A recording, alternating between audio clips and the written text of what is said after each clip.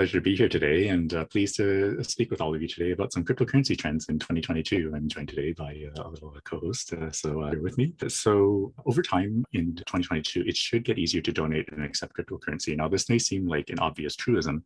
However, it's worth keeping in mind that, you know, as it uh, stands right now, that it can still involve setting up a fair number of systems and you know, getting to a platform that, that does allow you to do it smoothly. However, you know, the trend line is that additional platforms are emerging and it's getting easier and easier to both donate and accept uh, cryptocurrency.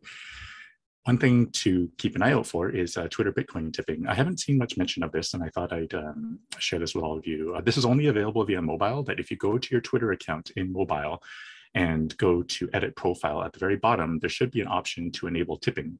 And if you enable tipping, what that uh, allows you to do is that it will actually pop up a little icon here with the, looks like a couple of dollar bills there. And when you click on it, you can input a Bitcoin address. Now, this is important for nonprofits. And if you would like to make it more prominent, I mean, the, the, front page of your Twitter account is pretty prominent there. And the other options that are actually also available are Patreon as well as GoFundMe. So this uh, really, really smooth way of enabling cryptocurrency donations as well as other kind of donation mechanisms is available. You can only set this via mobile. This is not available on when you access Twitter via desktop. So just kind of keep that in mind. Now, the reason why I'm pointing this out as well is that for a platform as large as Twitter to specifically call out, hey, we're allowing Bitcoin tipping, that's a pretty big deal. And this is something that will, will make it quite easy for people to find. I did want to touch upon NFTs. NFTs have gotten a lot of attention and, you know, a, a lot of, you know, general projects that are going around. But one thing I want to flag is the Immortal Poppy project from the Royal Canadian Legion.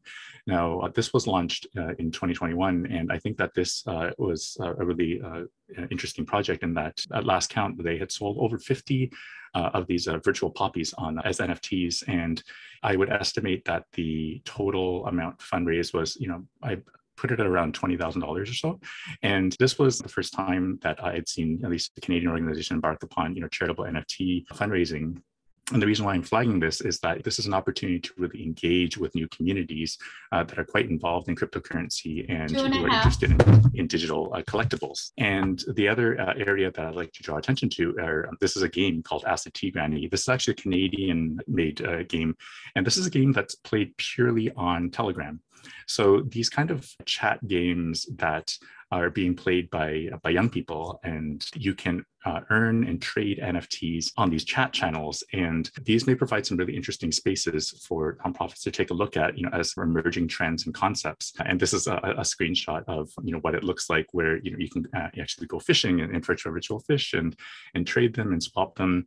And the thing is, you know, if you look at platforms like Roblox or Fortnite, anyone with people in their lives who play Roblox or Fortnite, you know, know that it is these ecosystems, you know, have a lot of digital digital assets that are being uh, bought and uh, exchanged and, and traded. So uh, something worth keeping an eye out on.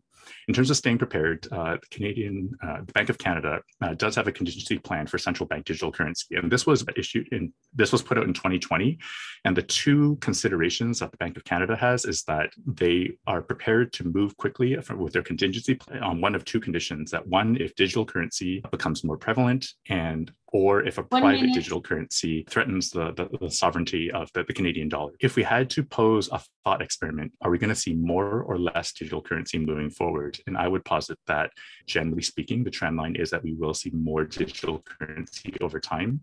And by exploring digital currency, cryptocurrency as an organization, it's not that you're placing a bet on any specific cryptocurrency, it's that you're preparing your organization for a future in which digital currency is pretty much an inevitability. So uh, my recommendation is to focus on internal processes for continuous improvement. And if you can establish even a 1% better a kind of mentality within your organization, if you make something 1% better uh, over the course of a year, that is 37 uh, times.